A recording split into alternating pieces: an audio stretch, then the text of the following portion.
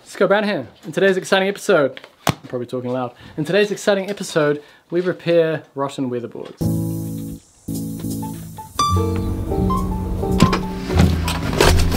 So I've got brackets, I've got bolts, but this episode is about making this room warmer. We are insulating everything.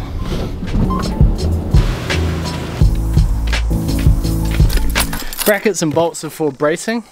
While you're ripping off all the plasterboard, it's a good idea to put modern style bracing, despite the fact that the house has been like this for 70 years without falling down. Safe to come in here? What, what? Just talking about bracing.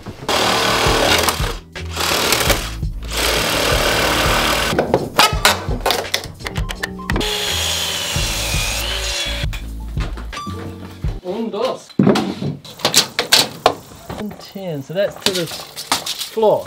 Ah, the bush. Part of this bracing, we've got to screw a big bolt down into the foundation below the wall frame, anchoring the wall to the foundation. But look how close we are to the ground here. So rather than crawling under the house, I need to replace this weatherboard anyway, so let's go in this way.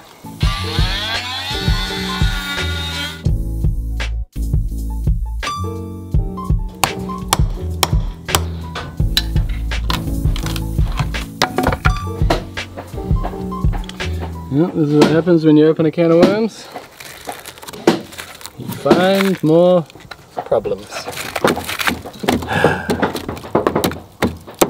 Okay, getting a nog around that corner there is going to be impossible with this tiny gap. So I've got two options. I think the most obvious option is just to go under the house. But if you look under the house, it's very, very short under there. Very, very cramped. Which is fine, but there's also the plumbing pipe in the way.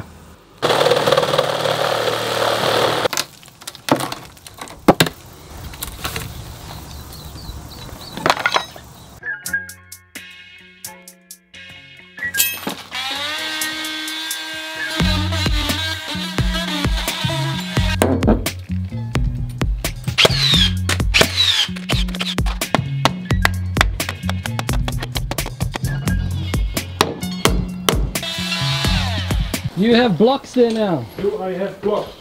I'm telling you, you have blocks. Over there, we have solid fixing now.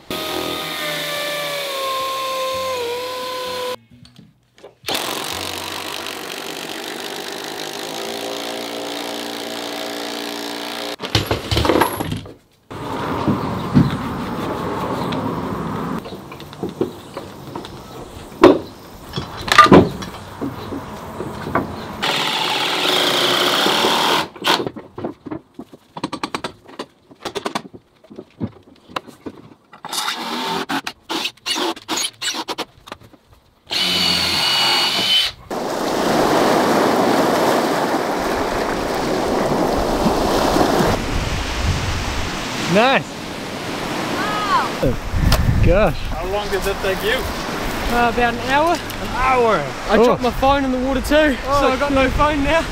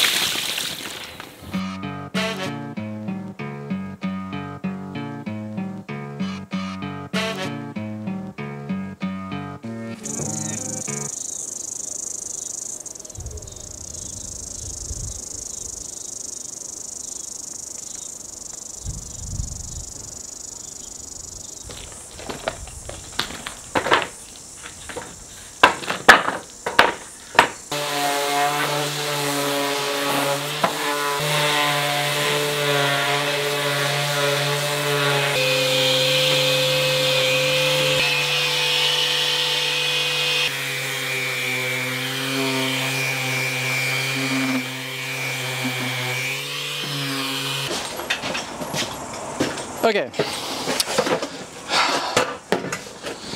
So fix most of those boards down below. I got a coat of paint on that little sill thing. And then once that sets, I can uh, put that last weatherboard on top.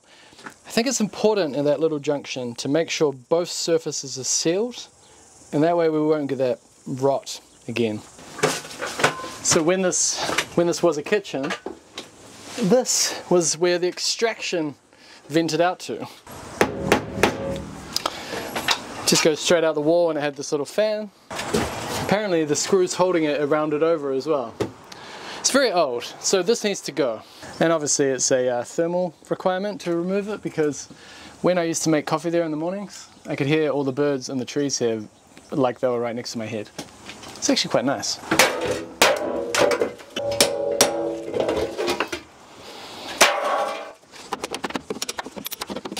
Now, this presents something that I struggled with when I first started building, and that is replacing weatherboards in the middle of a wall.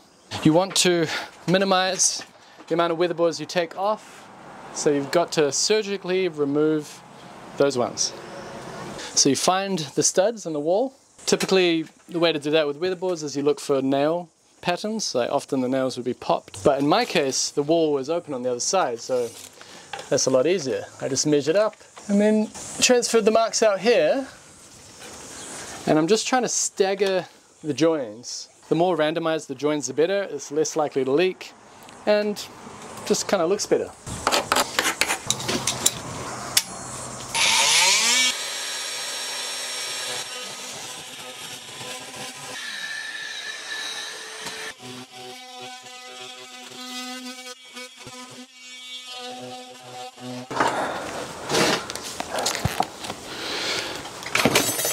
Now that was the easy part.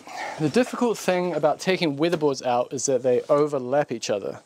And if you don't want to take the top one out, but you still need to cut the bottom one out, you need to get underneath. This is what I do.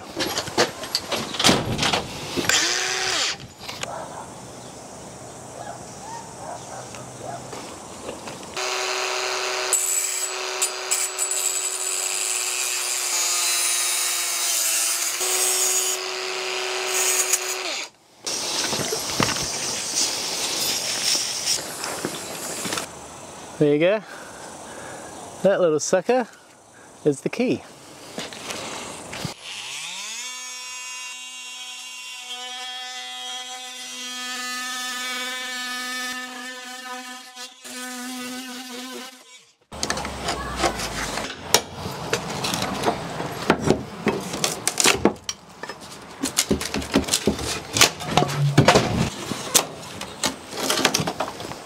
There we go. Cut it clean.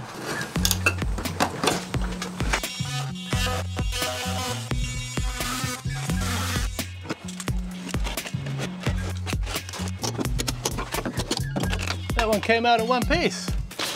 Another pro tip, if you're gonna cut on the stud line like that, go slightly off center. The problem with cutting on center is that that's likely where the nails are. The Hilti blade handled it though. Thanks for painting these. Yeah, they look good.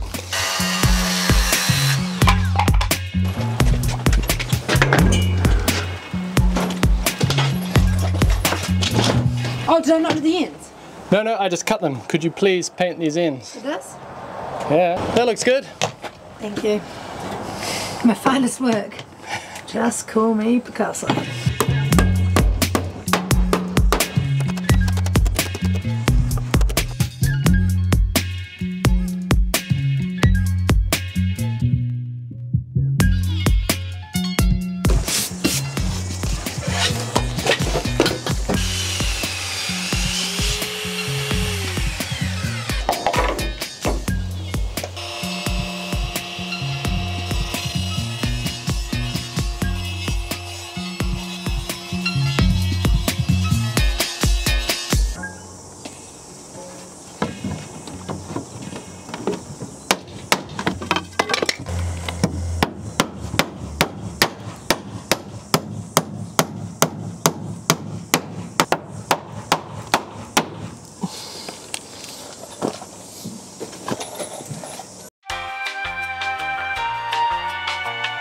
My name is Scott Brown and I'm afraid of pocket doors.